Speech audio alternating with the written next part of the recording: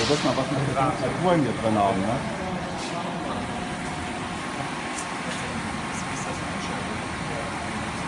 Okay.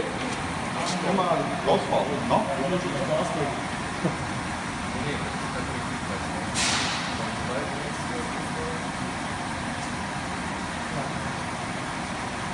Fahr los immer wichtig, Fliegen zu starten, weil sofort kann sich also eine hohe Temperatur unter dem rollenden Luft erfüllen.